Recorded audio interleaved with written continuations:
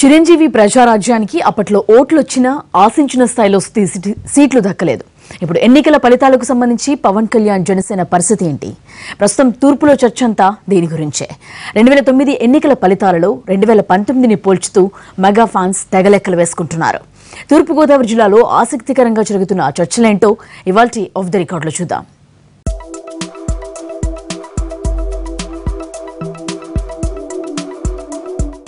ఆంధ్రప్రదేశ్లో అత్యధికంగా పంతొమ్మిది నియోజకవర్గాలు ఉన్న జిల్లా తూర్పుగోదావరి. అక్కడ ఎక్కువ స్థానాలు సాధించిన పార్టీ అధికారంలోకి వస్తుందనేది రాజకీయ పక్షాల సెంటిమెంట్. పంతొమ్మిది వందల ఎనభై మూడులో టీడీపీ ఆవిర్భావం నుంచి తర్వాత రెండు వేల పద్నాలుగు వరకు తూర్పులో అత్యధిక స్థానాలు సాధించింది తెలుగుదేశం పార్టీ. అదే ఆ పార్టీని అధికార పీఠంపై కూర్చోపెట్టిందన్న సెంటిమెంట్ కొనసాగుతోంది. అదేవిధంగా పంతొమ్మిది వందల ఎనభై తొమ్మిది రెండు వేల నాలుగు రెండు వేల తొమ్మిది ఎన్నికల్లో జిల్లాలో ఎక్కువ సీట్లు దక్కించుకున్న కాంగ్రెస్ పార్టీ మూడుసార్లు ప్రభుత్వాలను ఏర్పాటు చేసింది. ప్రస్తుత ఎన్నికల్లోనూ తూర్పు సెంటిమెంట్ కొనసాగటం ఖాయమని రాజకీయ వర్గాల్లో అంచనా ఉండగా ఏప్రిల్ పదకొండున జరిగిన పోలింగ్ సరళిపై అనేక విశ్లేషణలు వినిపిస్తున్నాయి. ఆ క్రమంలో రెండు వేల తొమ్మిది ఎన్నికల్లో మూడు పార్టీల మధ్య పోరులో వెలువడిన నాటి ఫలితాలను సైతం ఈ నెల ఇరవై మూడున వెలువడనున్న ఫలితాలతో బేరీజు వేస్తున్నారు. అప్పట్లో జరిగిన త్రిముఖ పోరులో నాలుగు నియోజకవర్గాల్లో ప్రజారాజ్యం పార్టీ అభ్యర్థులు విజయాలు సాధించగా మిగిలిన నియోజకవర్గాల్లో ఓట్ల చీలిక కారణంగా అభ్యర్థుల జాతకాలు మారిపోయాయి. అదే తరహాలో ప్రస్తుత ఎన్నికల్లో జనసేన బరిలో ఉండడం కారణంగా తూర్పులో ఏం జరగనుందో అనేది ఆసక్తికరంగా మారింది.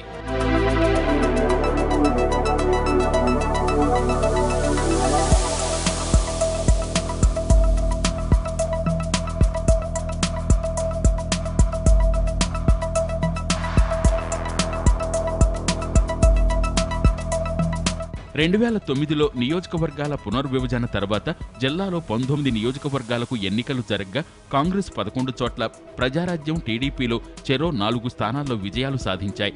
ఓట్ల పరంగా చూస్తే వైఎస్ నేతృత్వంలోని కాంగ్రెస్ ప్రథమ స్థానంలో నిలిచి అత్యధిక స్థానాలు దక్కించుకోగా తర్వాత స్థానంలో ప్రజారాజ్యం నిలిచింది.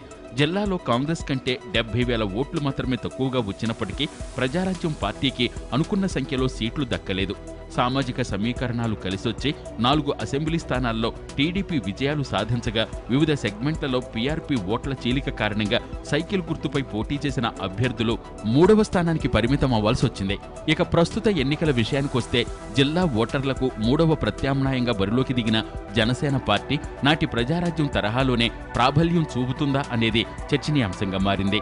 చిరంజీవి తరహాలోనే పవన్ను కూడా కాపు సామాజిక వర్గం ఓటర్లు ఆదరిస్తే ఎన్ని సీట్లు వస్తాయి? అలా కాకుండా పవన్ పార్టీ ఓట్ల చీలికకు మాత్రమే పరిమితమైతే టీడీపీ వైసీపీల్లో ఎవరికి నష్టం అన్న అంశాలపై అటు అభ్యర్థులు ఇటు రాజకీయ విశ్లేషకులు మల్లగొల్లాలు పడుతున్నారు. ఇక గత నాలుగు వారాలుగా అభిప్రాయ సేకరణ చేస్తున్న విశ్లేషణల అంచనాల ప్రకారం చూస్తే జిల్లాలోని పంతొమ్మిది నియోజకవర్గాల్లో ఒక పార్టీకి అత్యధికంగా పన్నెండు నియోజకవర్గాల వరకు దక్కే అవకాశం ఉందనే మాట ఎక్కువగా వినిపిస్తోంది. దాంతో ఇటు వైసీపీ అటు టీడీపీ అభ్యర్థులు జిల్లాలో తమ పార్టీలకే అత్యధిక స్థానాలు దక్కుతాయనే ధీమాలో ఉన్నారు.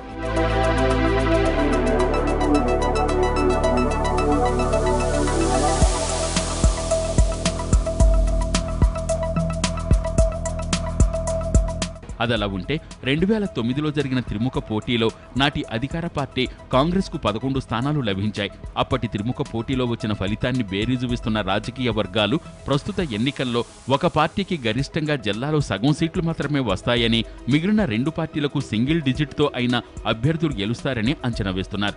ఈ నేపథ్యంలో మరోసారి అధికారం నిలుపుకోవాలని చూస్తున్న టీడీపీకి ఈసారి ఎలాగైనా అధికారంలోకి రావాలని ఆశతో ఉన్న వైసీపీకి సామాజిక వర్గ ప్రాబల్యం కలిసొస్తుందని లెక్కలు వేసుకుంటున్న జనసేనకు తూర్పుగోదావరి జిల్లాలో ఎన్నెన్ని సీట్లు దక్కుతాయనేది ఆసక్తికరంగా మారింది.